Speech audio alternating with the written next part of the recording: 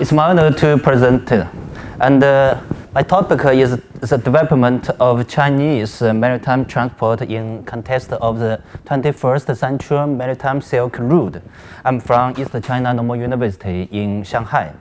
And uh, I, we know that uh, in 2013, the Belt and Road is uh, promoted by the Pre President Xi. And uh, we know that uh, the Belt and Road is uh, referred to the Silk Road Economic Belt and the 21st century maritime Silk Road.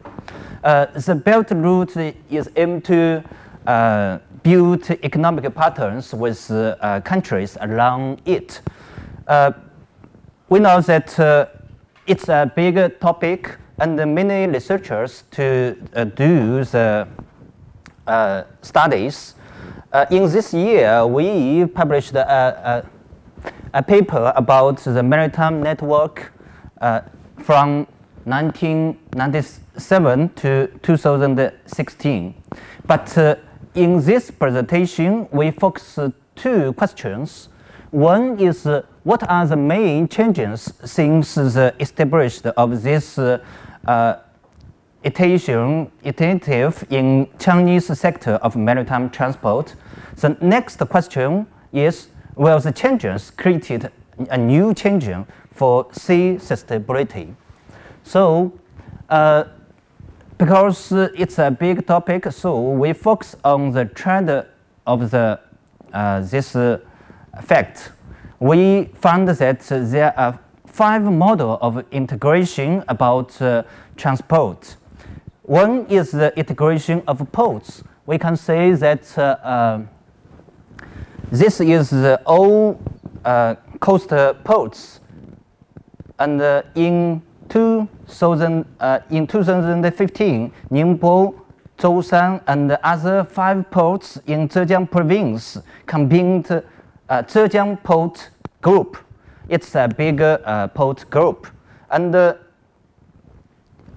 in the, at the same time, Guangxi province promoted the reform of ports integration. We can say that uh, here are some uh, ports, they want to combine into one port uh, group. And uh, in 2017, Nanjing, Lianyungang, Suzhou, and other ports in Jiangsu province combined into Jiangsu Port Group. And uh, also, Dalian, Jinzhou, and Yingkou ports uh, combined into one port group, Liaoning Port Group. So, other we can say uh, Fujian province and uh, Shandong province also want to promote uh, different ports combined in one port group. So we can see that uh, there are many ports want to uh, integration in one port group. Uh, as the port management systems, we can see that before 1988, all the important ports were managed by Department of Transport directly, so they were controlled by the central government. But uh, in, uh, from 1988 to 2001, all the important ports were managed by the central government and the local governments. Port uh, business management mainly controlled by the central government, but uh, the personnel was decided by local government uh, mainly. Uh, from, 19, uh, from 2001, it's an important year that ports were managed by local government push the reform to separated government administration and uh, enterprise management. But we also can say that after 2002, Shanghai Port invested in the uh, ports along Yangtze River, but it was not uh, successful. After 2015, the ports integration was pushed by the principal government and supported by the central government. We know that uh, as the law of ports in 2004, a city only have uh, a port, one port. But now a princess have one port group. So we, we can say that uh, many ports in one princess will combined in one port group. And uh, another integration of about uh, port and shipping companies. The port companies and shipping companies build close cooperation through the establishment of capital link and further improve the international competitive in MSR. We can see that uh, from uh, in 2007, COSCO hold 20% share of Qingdao port, and then China Merchants Group controlled Liaoning Port Group, and in the same year, COSCO hold 15 hold SIPG and become its third largest shareholder. And also in 2017, COSCO, SIPG, and Jiangsu Port Group cooperated. And uh, in this year, China Merchants Group cooperated with Tianjin Port. So we can say that port companies want to build cooperation with shipping companies. And also we can see the third integration of shipping companies. And there are five central companies in the shipping sector under the central government. There, we can say there are five companies before 2008. But uh, after the uh, crisis in 2008, CSC and uh, this company combined in one big company. Now we can say that in 2015, this company was uh, cooperate with uh, China Merchants Group. And in the same year, COSCO and China Shipping Group combined with COSCO Shipping so COSCO Shipping becomes the fourth largest container shipping company in the world. And uh, we did some uh, research about the two, country, uh, two shipping companies' maritime network. In 2015, we can say that China shipping has a relatively advantage in Mediterranean Sea, Middle East, and uh, Northwest Europe. And uh, in the same year, COSCO has a relatively strong advantage in North American, Australia, and New Zealand. But uh, after the cooperation in 2016, COSCO Shipping has the most extensive cover, coverage in the Mediterranean and East Asia. Also, they uh, get uh, very uh, closely in the Europe. So we can say that uh, in the this year they want to build more and more important port. They want to build closely close relationship with China. And uh, another integration of Leo we also can see that uh, COSCO shipping is a very important actor in, in the uh, project. They want to uh, build a serial relationship uh, in this year uh, based on Piraeus. And in January 2017, the first and the second trains carrying uh, Chinese containers launched by uh, COSCO Shipping Group, arrived in Budapest by the port of uh, Piraeus. Greece makes the opening of the China Europe Land Sea Express route connecting China with Central and Eastern uh, Europe.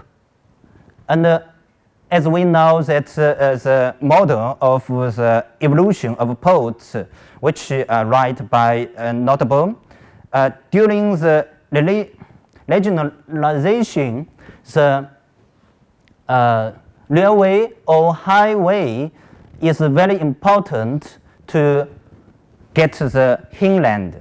So we can see that uh, during this, uh, this port uh, development, they built a railway, connect uh, this port and uh, some capitals at the end of the Budapest. And uh, another integration of port city, we, uh, we just now said that uh, China Merchants Group is a very important actor. So they want to build a model of port park city uh, in the foreign uh, port. Uh, their project is that ahead port, they want to build a port or cruise port. And in the middle part, they want to uh, build uh, economic uh, or business park to uh, develop the supporting industries, business, and other uh, industries. And it, behind the port, there is a city. They want to uh, develop the living or commercial or other supporting industry. We see that the machine, a China Merchant Group uh, built some uh, ports along the, this uh, Silk Road. During, beside this port, China Merchants Group hope to copy Shekou, Shekou experience. Shekou in Shenzhen, they developed the uh, Shekou district very successfully. So they want, want to copy Shekou's experience in this port based on port park city model. Uh, th there are two prime uh, picture. In this picture, it's a new model deep water uh, port. They want to uh, build a new port in the suburban. The business of old port will be related by the new one this will not only completely solve the connection between old port and the center of the city, but also adopted the trend of large-scale shipping. And in the old port area will be used for urban development, including commercial office, hotel, or other facilities, and so on. It will create a new commercial center in the port. So we can say there are five models of uh, integration uh, behind the project of Silk Road. There is a, a brief conclusions. The Belt and Road will have a significant impact on the development of uh, Chinese ports. It, in terms of scale and management, there is a gap between domestic and foreign ports. So the Chinese ports have um, pressure. Therefore, the integration of ports, integration of uh, shipping uh, companies, integration of uh, shipping will help to improve the port's competitiveness. And uh, in the foreign countries, the income of the pure invested in port is limited.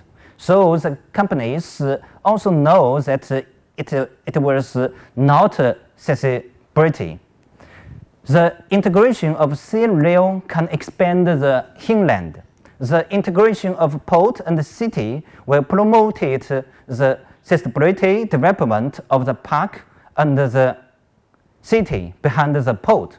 So we can conclude that uh, the, some uh, main port, ports and the shipping companies want to build the big port. This means that the port extends from the functional of shipping to develop the comprehensive services. And another is big logistics, takes the port as the center and extends the expansion of the port's regional hinterland by uh, use the railway or highway. And another is a big platform. Ports is developed first, and then they will build industry park behind the port, and also supporting the development of a new urban areas. So we can see that there is a trend of integration uh, about the uh, ports, ports, ports and uh, shipping companies. Shipping companies can build one port, uh, one shipping companies, and also they want to uh, build a port and railway and port, park, and cities. That's all. This is my presentation. I need uh, uh, thank you for your presentation. Thank you.